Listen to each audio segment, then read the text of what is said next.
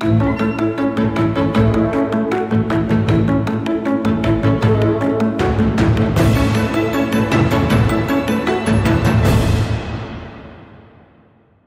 said that um, that people message you and they think that you're being rude, and he's like, no, no, he's not being rude. He's just literally the most forgetful person in the world.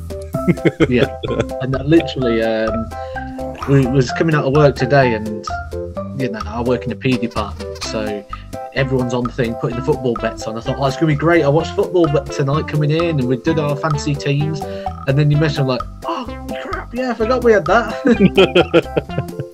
It's all right. so I would have been sat there watching it. You'd have been sat up with it, or like, uh, are, are you ready? yeah, yeah, yeah. No. You'd be like, oh, no, I just got my beer and feet up. Good evening, everyone, and welcome to another Love Darts exclusive with the greatest YouTube darts player of all time. He is the prime time 170 checkout king, Gary Anderson destroying, ex wrestling, flaming chick pranking, world championship qualifying, professional dart playing, world number 58. It's Matthew Edgar. Crowd goes wild. Woo! Undertaker, Undertaker. Boom. There we go. Cheers, that. guys. I'm off. I can't. I can't top that. That was perfect. That is how you should do an intro. So anyone who's going to introduce me in future, John McDonald, if you're watching this, that is how you do an intro. After what is it? He's played in three World Championships. He's played in ten UK Open. We don't want to hear that. No. That is how you do an intro. Just bang, bang, achievement, achievement. Which I was actually surprised when you're reeling it off because I didn't think I had that many. Yeah, So- yeah, yeah. I, I had great fun. I could have kept going, but I thought, well, you know, we've done Feel free, minutes, carry on. I'm loving it. I'll just sit here. Flattery will get you everywhere. Oh, everywhere. Yeah, it, flattery is a good thing. Remember that in the comment section of my videos, guys.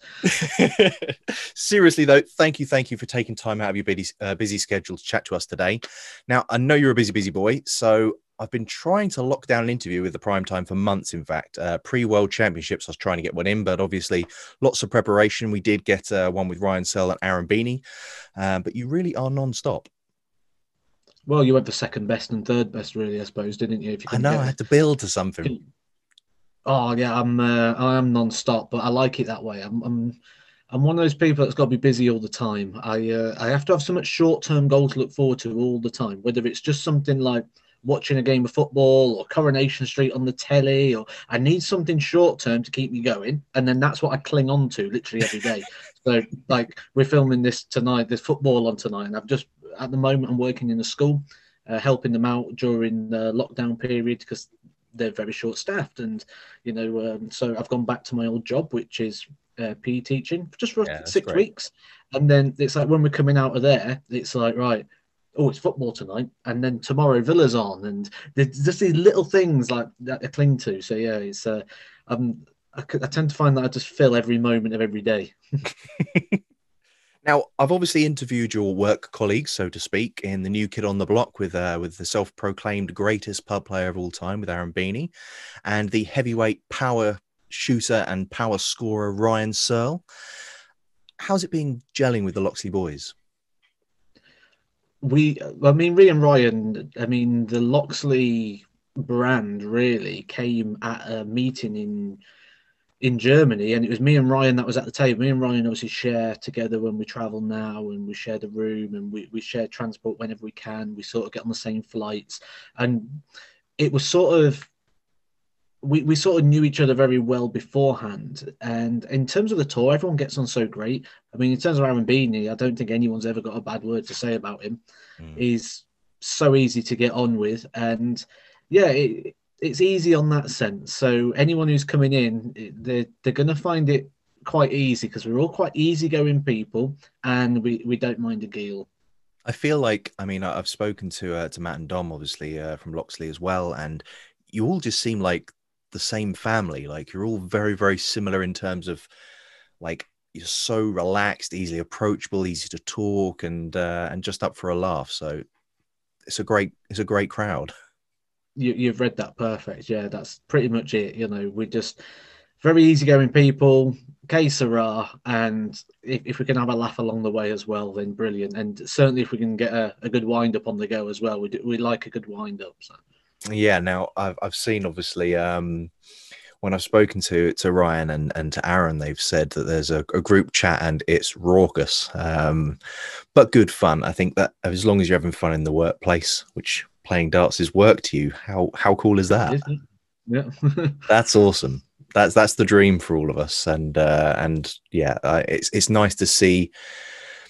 I think the things we get to see a lot of your personality through, obviously Edgar TV, and having that insight behind the scenes is so interesting to all of us because obviously you know we, are there watching watching the professional darts thinking I wonder what their life's like behind the scenes. And that's that's edgar tv that's that's what we get to see. We get to see hear feel your life as a dart player. That's because i am that person that it would be sat the other side of the screen wanting to watch what i'm doing if mm. i wasn't doing it.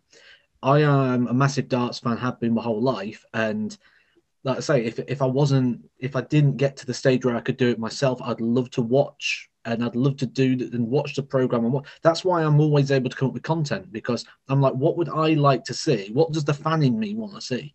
Yeah, and that that's all it is. I'm just a fan living his dream, doing what he wanted to do. If I weren't involved as a player, I'd be involved somewhere else. I'd either be a referee or I, would be something. I'd be involved in the game somehow. I, I just managed to get myself involved as a player. So happy days, win win. Yes, exactly. It's uh, I can't complain. I can't complain. like I say, it's busy, but it's exactly how I want it. So now, when I spoke to the other guys, they each said that they were the better in practice. Are you going to say that you were the best in practice when the three of you all get together? Oh, who's the better in practice out the three of us? Good question. I, I wouldn't say I am because on the practice board, when we get into a group situation, I can mess around a bit or banter with the other boards a little bit. And I think sometimes that takes away from the the full on like oh I'm going to be the best player on this board but I do have this competitive edge like we play some finishing games and if Ryan goes and takes out a finish I want to take out the next one. And mm. I, I, had this as well at the World Championships with uh, Danny Baggish. So we practiced together at the World Championships and was doing a, a, finishing game. And then he took out like a 147 and then I took out a 148. And I was like, God.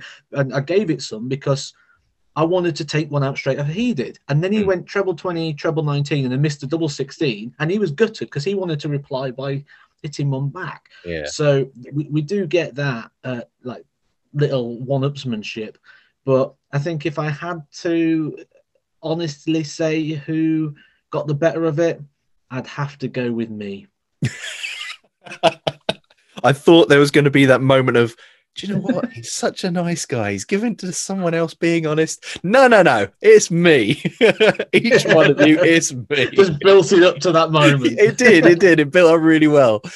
Um, look, I, th- I, think there's lots more to come from you. I mean, last year was a really good year, obviously ups and downs. I mean, have you got any targets for the next months, next year? Are, are, you looking at each day as it sort of comes? I know obviously the COVID situation doesn't help things, but you must have some kind of plan and achievements. I know you're very goal orientated, set your goals, and uh, and a big advocate for doing that. I'm very much on the journey. So my destination is the top 32. That's where I want to get to. And I sort of realized at one point that I was pushing the goal more than I was enjoying the journey. And when that happens, you don't enjoy being 5 5 because you want the result. You don't enjoy being in a good game of darts because you want the outcome. Mm. And I, deci- I decided to take a step back from that and to enjoy the journey and to try and improve me, pushing me forward rather than trying to pull it to me. Like I mm. want the top 32, it's coming to me. Yeah, I went, yeah. this is me. I need to staircase myself up to the top 32. So I'm on that journey. How far up that journey I get this year, like you said, we cannot plan for COVID. Today we've just had the UK Open announced, which is the first event of the year by the looks of it, which madness. But you know, we could only have maybe four events this year in terms of those five day pro tour events. If you look at the gaps between them, I haven't played since the World Championships. And we're in a COVID situation at the moment. So it's not even like I can go meet up with Kevin and have a proper practice together. And it, there's going to be a lot of people going in cold into events. And the Germany one we did, uh, the autumn series, I think it was, and we went over there. And a lot of people said they felt rusty in the early bits. And you look at the stats, and the stats sort of suggest exactly the same. They got better as the week went on. Mm. I think there's going to be a lot of rustiness. So where there's rustiness, there's weakness, and where there's weakness, there's a chance to exploit that. So I've got to try and get myself ready to try and exploit that. How well I can exploit that and what I can do with that, we'll we'll see as the year goes on. But I've certainly improved. Practice is going. At, I keep looking at the board as if like as if it's going to make any difference. And practice is going fantastic. I'm putting in some good work on the board. And yeah, I, I think I'm going to keep moving in the right direction. Definitely, I'm up to a career high at the moment, and I think yeah, I mean, 58th in the table. I mean, uh, you know, that's that's huge. 57 right now, that's 57. a huge achievement. And I mean, I bet that was a welcome one. I mean, especially after your potential scare that you were going to lose your tour card. It went from sort of, you know, um, I was talking to to Zach Thornton and uh, a few other a few other YouTubers, and we're sat there, we're watching on the Connect. We were like, "Come on, come on, God, he's done it! He's done it! We've all gone nuts." I mean, we really followed that journey with you. We were gutted when we first heard about it. That was that must have been huge for you. I think if you ask whoever you ask about the tour card situation, anyone who asked me would tell you I was never once in doubt of that tour card. Even going into the World Championship qualifier, even on the day the people I spoke to there, everyone will tell you I was assured. I, I was in control of it. it. It's when you're not in control of that and you're not assured, that's when you that's when problems arise. And I never once for one second thought I wasn't going to get that card. And like I say, when you when you're reading out the world ranking and that, it's it's so easy when you sit back and go, oh, well, you're only in the fifties or whatever. But then when you take into context, like I was having a practice yesterday, and the missus on the sofa, and I was just like, I'm the 57th best player in the world. The world's a big place, you know. It's it's not like a little small small area. The world's quite a large a large place, yeah. and I was like, it it sometimes doesn't sink in, you know, just what an achievement that is in itself. I mean, getting a tour card's an achievement in itself, yeah. but then to be and to be now in my full season with this card means I've been in the the top half of the elite part of the game for four years now, and and I'm only getting better. You know, yeah. so that's uh, it's exciting, isn't it? It's exciting. Like you say, it's it's good because we can follow that journey. We can all. Uh, hopefully, I can share a lot of that, and people can get involved with and sort of see what it's like going up the rankings as well.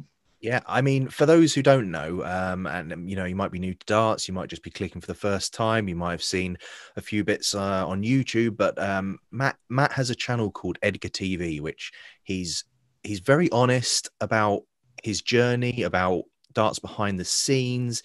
He gives you complete insight. He'll give you stats and figures. It's a really, really good channel. If you haven't subscribed already, I'll put it in the description. Click on there, subscribe to the channel. Great, great content. And it's all part of, you know, it fits in nicely. Everything works well towards the brand of, of, of Loxley, of your um, facade. You know, I know that you've done your wrestling. I'll get onto that uh, shortly, but um, you know, if we go back a little bit, talking about sort of you, you and you and the guys, I hear rumors that, well, about the band, you know, about the band with the Loxley lads, and I, I really do hope when the COVID situation resolves, we may see, you know, some promo stuff with you guys together and give guys some more insight. Um, but I was told by both of your colleagues that once you did a fart that cleared three oches yeah. Discuss. It could have been more as well. It could have been more because we was on the end board.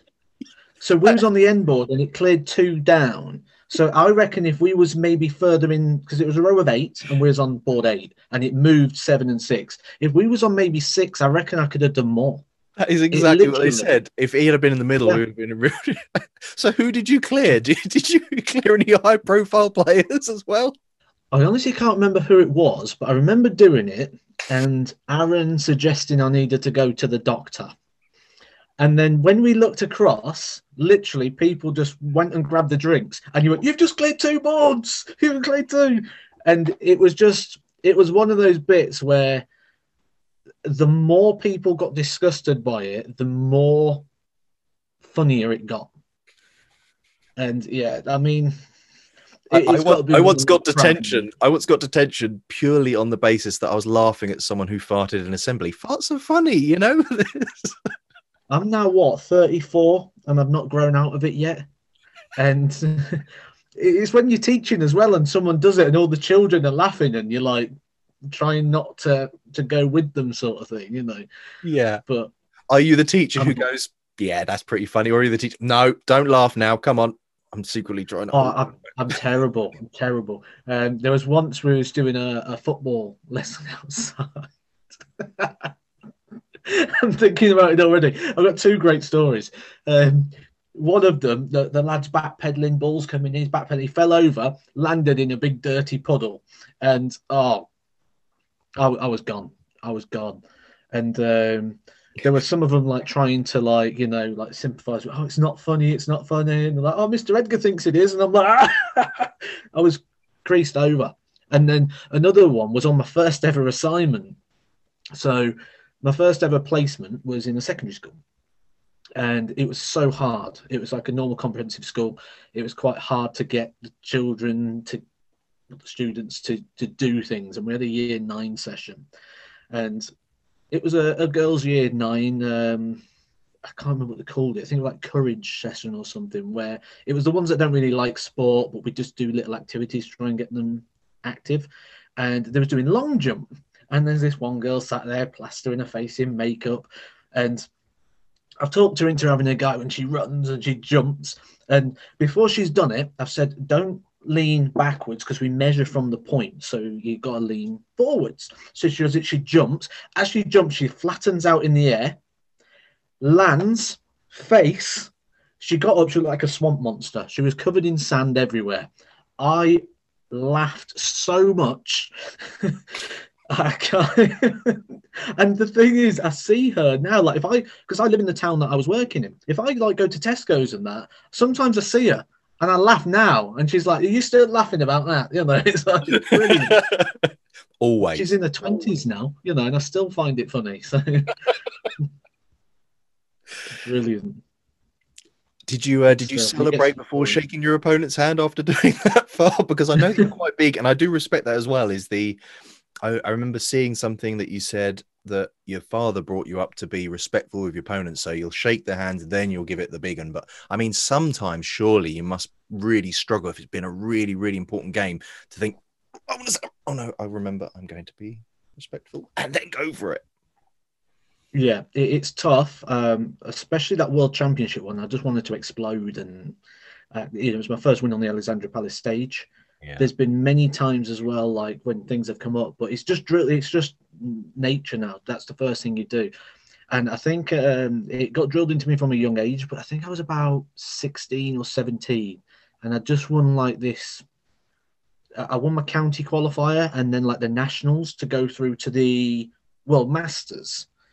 And after that, I gave it some.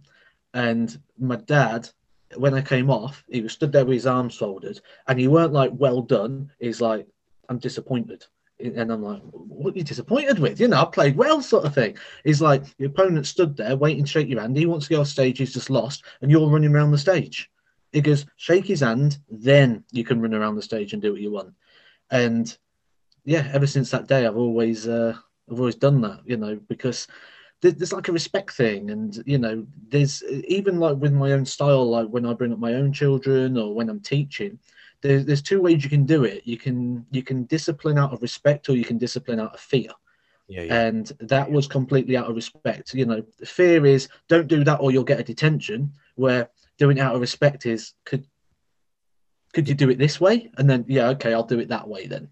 I really and, liked. It. I mean, when I when I saw it, I was like, yeah. I mean, that's that's that's the kind of guy I try to be. I know that um, in football, for example, I you know used to play football when I was younger, and if I tackle someone really badly, I'll go over, make sure they're okay, and help them up. You see the modern footballer, they'll walk away, and I'm like, you know, you've done bad, and it, it frustrates me so much. So to see some proper sportsmanship in this game, I was like, yeah, good on you, Matt, good on you. I've got to admit, though, I'm awful on a football pitch. I'm a cop. I'm a proper wind up. I'll uh, I'm always talking. I'm always jabbing at someone. I've been the guy who's pulled the striker shorts down on the corner. You know, I've. Uh, well, that's just I'm the mischievous streak in you, then. yeah, it's only darts I get that sort of like really yeah terrible. So what you're saying is you're actually terrible in real life. It's just darts you show the respect. Yeah, because that's where it was drilled into me from. You see. Yeah. he, he needed to stand behind me a lot more. Yeah, that didn't say anything about non-darts related stuff. It's just Yeah, exactly. now. oh, I'm never, I'm never quiet. Uh, I'd like to move on. You, you have a very special relationship with one of the Loxley designers, a young Zach Thornton, who helped design um, your most recent darts, and which I must add, I actually have them right here. I have checked out Very myself them. two 170 checkouts, which I've never done before. These darts are made for 170 checkouts. They're absolutely fantastic darts. If you haven't, go onto the Loxley website, give them a checkout. Fantastic dart. I nearly, in fact, hit a 170 while I was streaming. I, I specifically changed to them. I went, do you know what? I've got 170. I'm going to pick up the Edgars. Everyone's like, yeah, whatever. You've been playing rubbish all night. First one goes in. My face goes. Next one goes in. What happens then? I can feel, I can feel this is not good.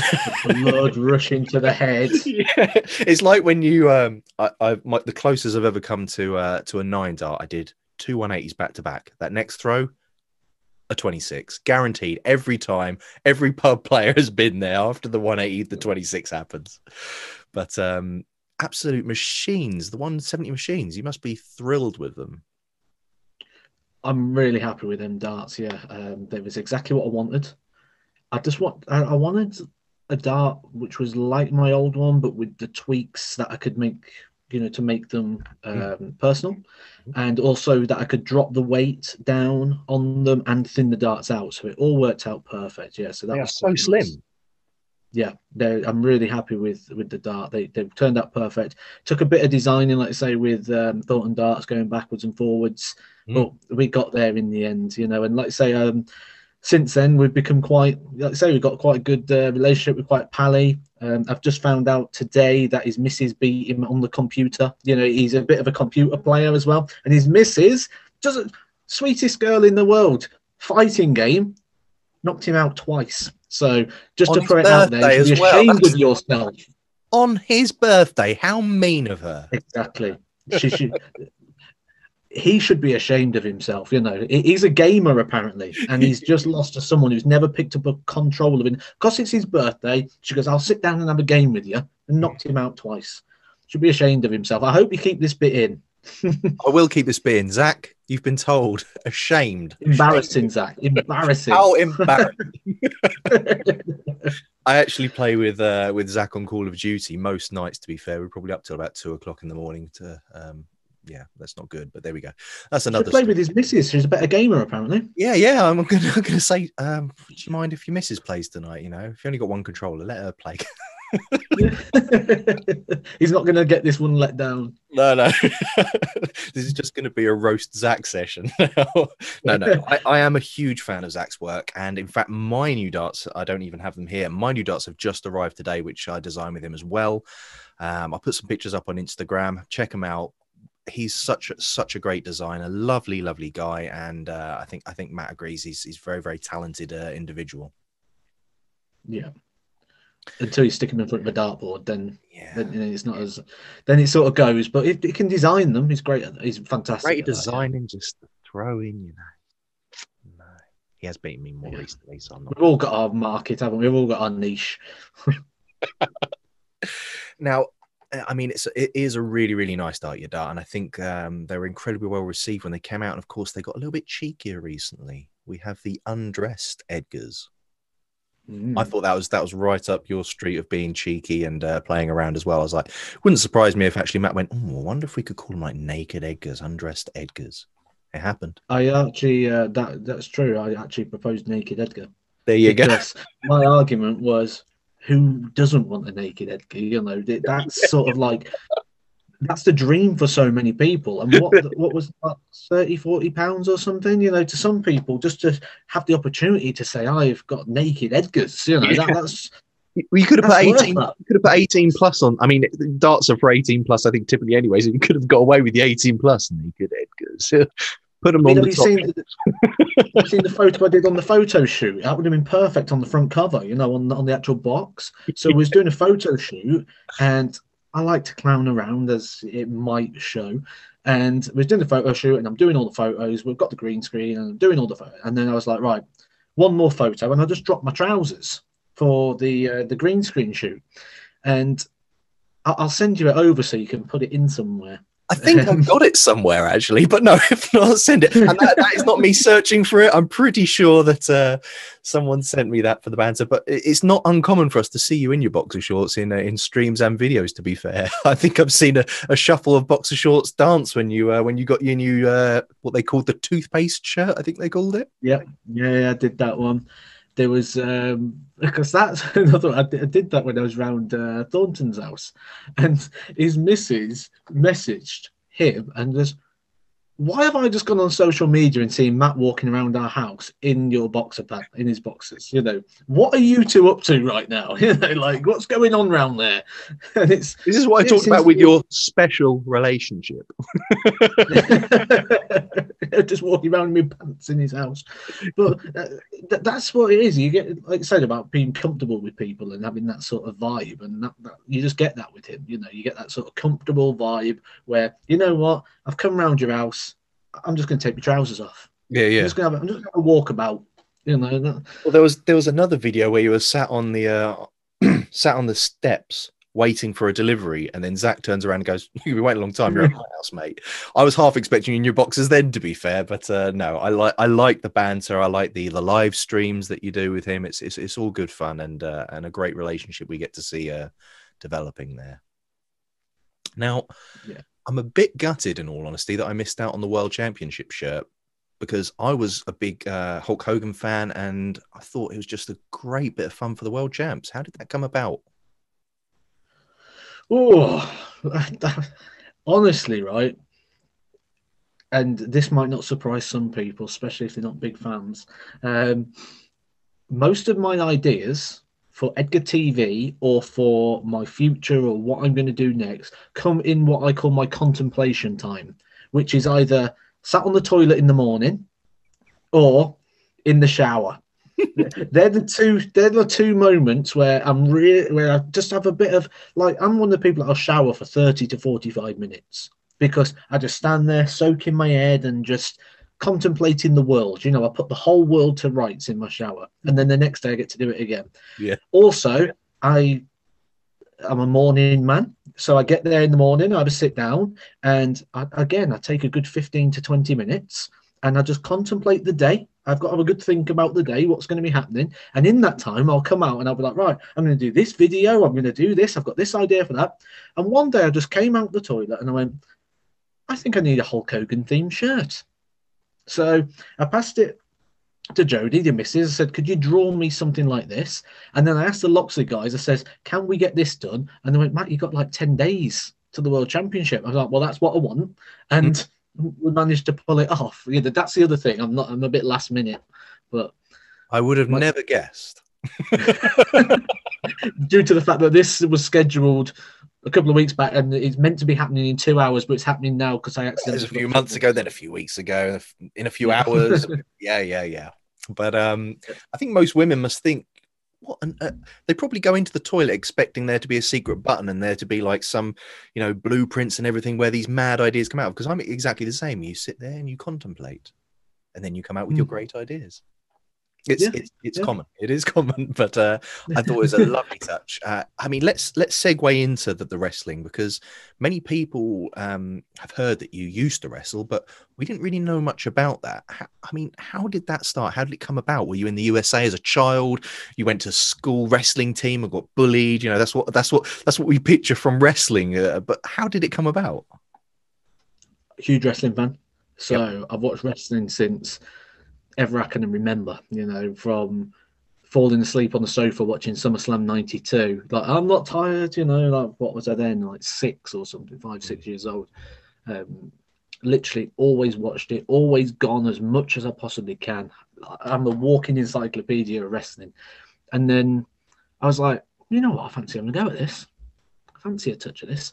So I went online, looked for some wrestling schools, started doing that, and I was like, I quite like this. And then there was people doing shows that were going to the training camps and things. I was like, right, I need to go and get better.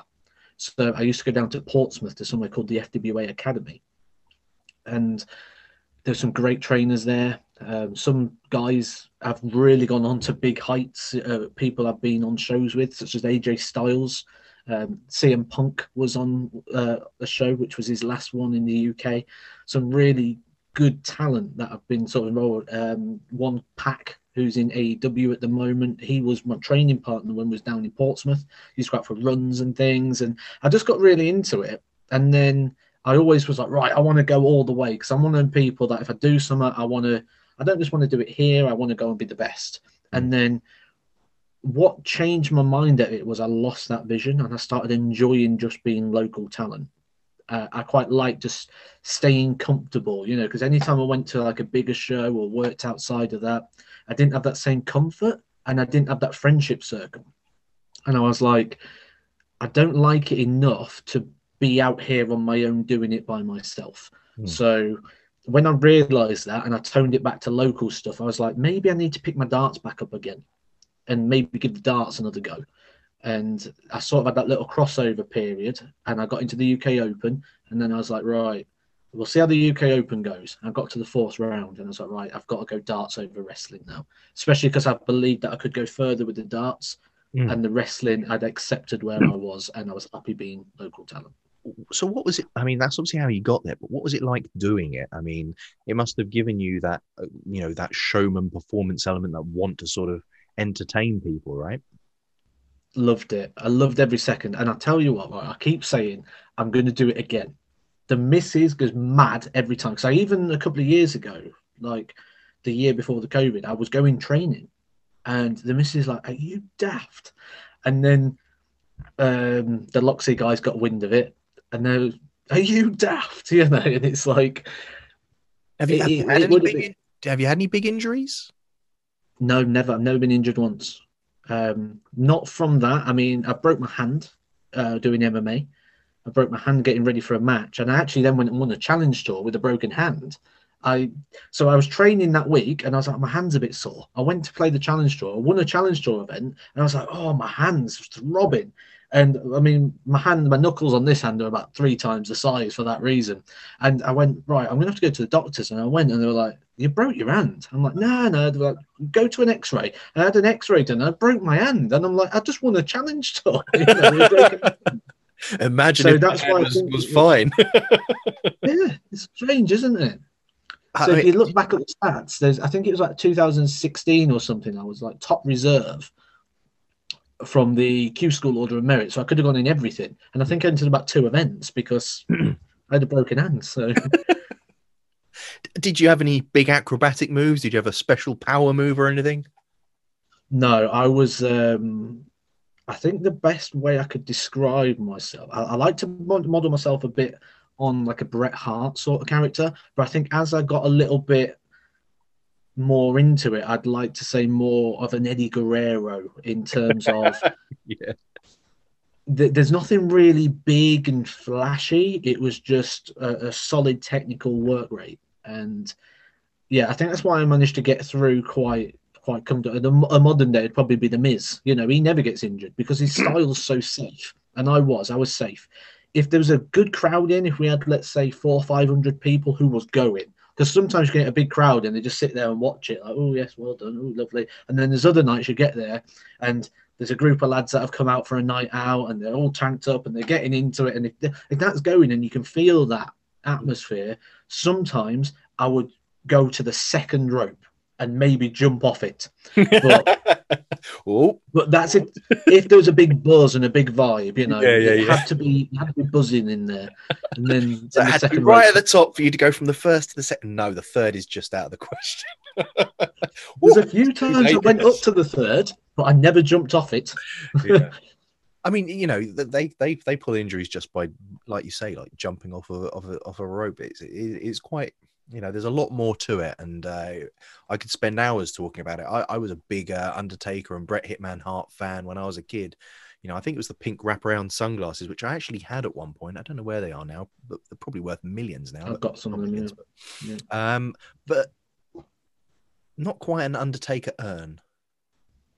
Oh, that was incredible. I was shaking. I was shaking at that. That was incredible. I've got that now. I've got the glasses you just mentioned there. Yep. Got a pair. I've got so much wrestling memorabilia.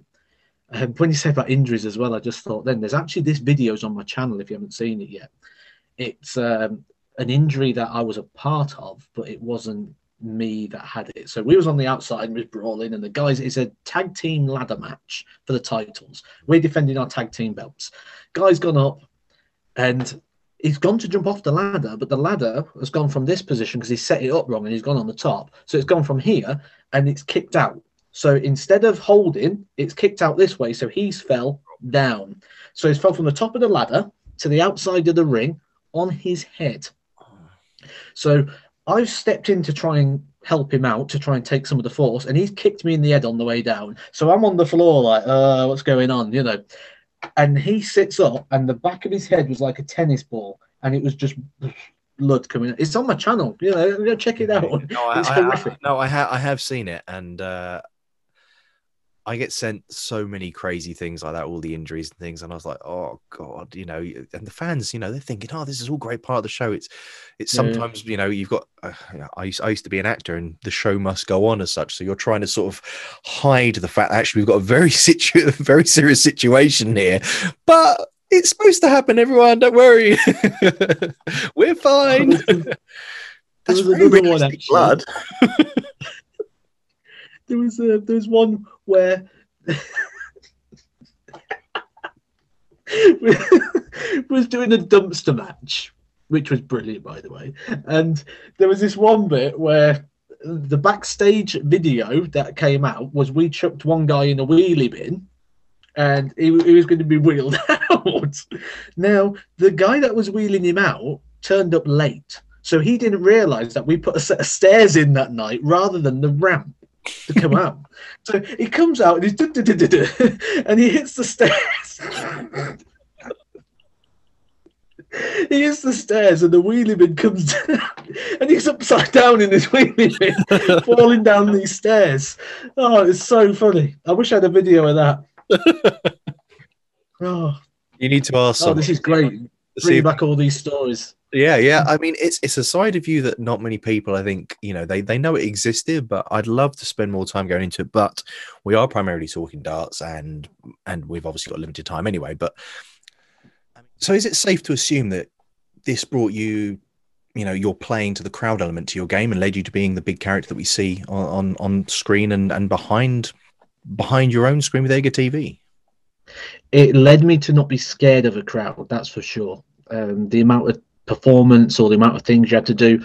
There's even little things about connecting with the crowd that i've learned through time. You know if we look at certain things such as uh, a couple of reactions i've got when i've been on stage before a lot of that doesn't just happen. There's certain things you have to do to make that happen.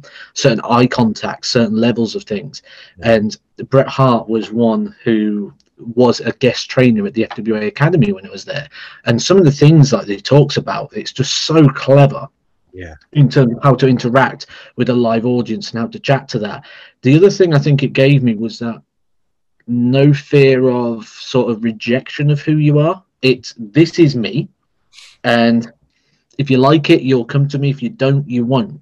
And that was, I mean, especially when you look at where I started Edgar TV from, it was one of those things which was like, who is this guy? You know, and it's like, well, this is me, like it or support someone else, sort of thing.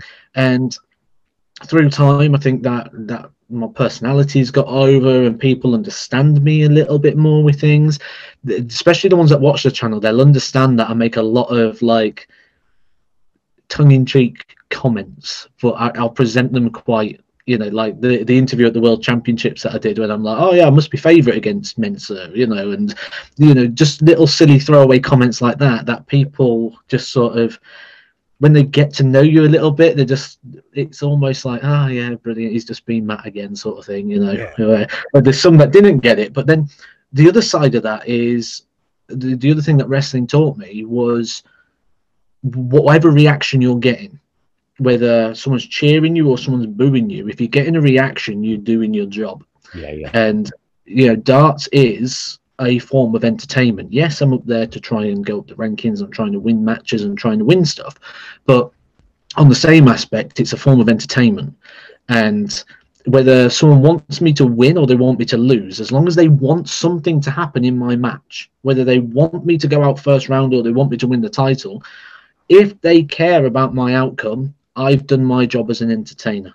Yeah. And I, I mean, and I really, like I said earlier on, I mean, I, I used I used to do a lot of acting. I still like, you know, still would enjoy doing acting, but haven't as much time with this uh, recent job. But you know, you knock on so many doors and you get rejected, rejected, rejected. You know, it's like one in a hundred will open, and Yeah. you know that's given me sort of the capability to be quite strong and go like, all right, I accept rejection and I'm quite happy to move on. In the same way that some people are going to like me, some people won't like me. I think Yeah. once you accept that, you know, you're not going to please everyone. You just have to move on, enjoy what you're doing, and I think that's what we see from from yourself. Buck Rogers, feeder. For me, Yeah. it feels very American Pie. This is uh, Matt's walk-on, by the way. That sort of childish, naughty mischief. I love it. How did you pick it? Right. Um, so until then, I had quite bassy sort of tunes, and I knew that wasn't. You were Dirk van Duijvenbode then, yeah? no, it was uh, louder. Oh, DJ Louder. Fresh, Okay, right. great song, but I didn't really think that it suited me, and I thought I need something a little bit more me, and then. Like a lot of stories, you know. Uh, so we was out one night, you know, I was having a, having a couple of um, couple of shandies, and we went to a karaoke bar. And when we walked in, someone was singing Feeder Buck Rogers. And the whole place was absolutely banging. And we went in, we didn't go to the bar, we went straight in, like player, player, jumping around. And, that. and then when we went to the thing, I was like, oh, I hope someone sings that again. And then I was like, this is perfect Yeah. this is perfect, you know, for a for a tune. Yeah. So then when I woke up the next morning, I remembered it and I thought, right, let's have another listen to that. And I was picturing it and I'm like, that could work. Could work. Because I'm not one of these that like I don't like some of these um karaoke tunes, like proper karaoke songs, you know, that uh, some people walk out to, because it doesn't fit the personality or it's a little bit too slow Yeah. and a little bit too forced, you know. Sing this song, you know, and I'll just walk onto the stage while you do it. And you know, with, with that song, it, it's got everything that you know. I think it's a perfect walk-on song. It's- I would do when I it's- picked it. it's good fun, good choice. I think it works well with uh, with your character, and uh, no, I'm I'm a fan. Swinging back into darts, I mean, you love big checkouts, and I I heard a rumor. I don't know if it's true that you had quite a big one against Gary Anderson. You, but you like yeah. about it. I mean, this is this might be confidential. Let me know if it's you know if, if I shouldn't be saying this. Not many people know, so I thought we should share. Yeah, it, it was one of those things that sort of happened eh, at the summer series to win the match. 170 finish for the match with him sat on a double. And I thought, I'm going to keep this quiet. Hopefully, no one's noticed because, you know, big fan of Gary Anderson, one of the best players that's ever lived. I thought, I don't want to keep bringing that up. But unfortunately, it seems that it follows me around a little bit, which it would do. You know, what an amazing achievement to beat Gary Anderson with a 170 finish. So I like to try and play it down where possible, but it seems everywhere I go, someone just wants to go, oh, by the way, was that you that did that? And I go, don't, don't pass it on, you know, but You're so humble. I just, uh, I, I'm in awe. I feel like bowing down. I mean, I've never seen you mention it. Like, you know, some people might mention it daily. You know, they might tweet about it regularly. Might, you know, if someone ta- if someone says I've just done a 170 checkout, you know, it's not like you reply back saying, "Yeah, but did you do it against Gary Anderson?" You know, I- Mhm. I mean, that's that's what I like. It's just humble from you all the time. when it happened, and I was banging on about it every single day, and people went, "Oh, this joke's stretched as far as it can now," and I'm "It hasn't. It's got to stretch to breaking point, and then once it's broken, go again because Yeah, that's when it. Then once it's broken, that's when it becomes funny. Yeah, And now it's to the point where as soon as anyone does a 170, they're like, oh, you know, because I, I pushed it so far beyond breaking point where people was actually would accept it as being an achievement to so far beyond it to being a joke Mm. and now it's it's got its place you know the only thing i need now is a t-shirt saying i beat gary anderson with a 170 finish Right, And- guys, let, let's let's make this happen. Dark Wolf, if you're listening, that's that's going to be Stella, right?